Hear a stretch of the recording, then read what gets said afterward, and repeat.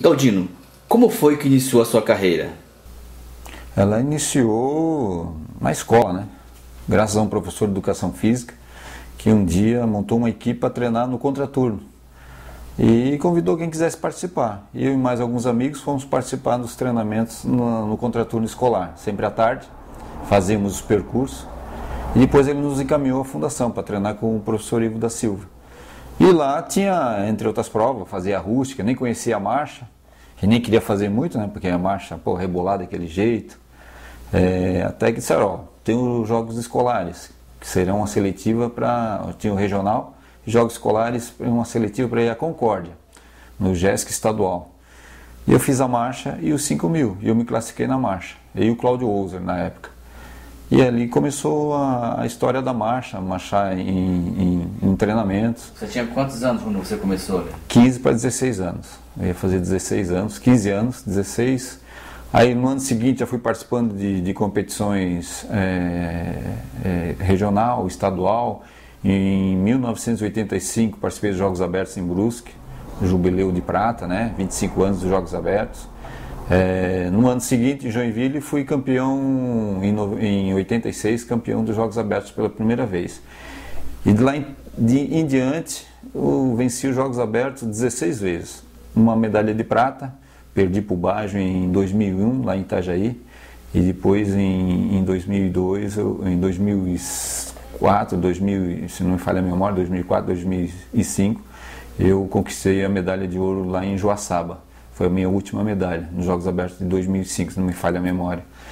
Então essa foi a minha carreira que iniciou lá no, na escola, graças a um profissional de educação física, e, e me fez ir ao mundo, né? conhecer é, várias, mais de 30 países, participar do primeiro sul-americano em 87 lá em Santiago do Chile, fui terceiro, medalha de bronze. É, meu primeiro mundial em 88 no Canadá. É, depois vieram meu primeiro título sul-americano em 89 em Medellín, na Colômbia. E outros títulos né, de campeonatos brasileiros, sul-americanos. É, 91 é, o, o Jogos Pan-Americanos de Havana, fui quarto colocado. Participei em 95 depois em Mar del Plata, 2003 em Santo Domingo, quarto colocado e quinto. Então foi uma história é, muito boa que aconteceu na minha vida. Minha formação foi em cima do esporte, minha formação acadêmica. Minha história de vida começa lá, né, profissionalmente, é, na adolescência como servente pedreiro, mas graças ao esporte eu trilhei, não que ser servente seria indigno, né? mas todo trabalho é digno, acredito nisso. Mas eu consegui galgar principalmente aquilo que eu queria, a minha formação acadêmica, que era na área do esporte, na educação física, então essa formação que eu tenho, né, pelos, pelos exemplos que tive. É, trabalhei muitos anos com o professor Ivo da Silva, que também foi um abnegado, é um abnegado do esporte, da marcha. Depois trabalhei com o João Sendeski, a, a Olimpíada de Atenas, né, a minha última Olimpíada, que veio lá em Barcelona 92, Atlanta 96 e Atenas 2004, é uma Olimpíada mística, né? Nos bancos de escola você estudava, estudava sobre a história da mitologia grega e falava sobre os berços dos jogos e chegando nos Jogos Olímpicos tem toda essa história, essa mística, né? Foi foi mais simples, uma Olimpíada simples, mas ela tinha muita história. Então ela foi singular pelo que aconteceu em 2004, lá em Atenas. A participação dos Jogos Olímpicos, uma prova de 50 quilômetros, muito difícil. É, você luta contra os seus monstros, seus desafios, chega ao final da prova com muito, muito estresse físico né? e emocional.